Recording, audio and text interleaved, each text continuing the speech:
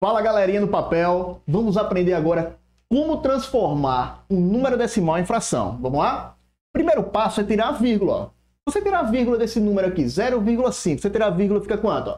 Fica 5, né? Aí você bota o tracinho da fração e bota o 5 em cima, certo? Aí você pensa, quantos algarismos tem depois da vírgula? 1. Um. É o 5, certo? Aí você bota o 1 um, com um zero certo? Então a quantidade de zero vai depender da quantidade de algarismos que tiver depois da vírgula. Vamos ver se você entendeu mesmo? Esse aqui, se eu tirar a vírgula aqui, fica quanto? 12, né? Aí você bota 12 no numerador. E no denominador, professor, você conta quantos algarismos tem aqui, ó. Um, dois algarismos. Então você bota 100. Por que 100? Porque um algarismo, um zero. Dois algarismos, dois zero, certo? Vamos ver se vocês entenderam mesmo? Comenta aí qual seria a resposta aqui.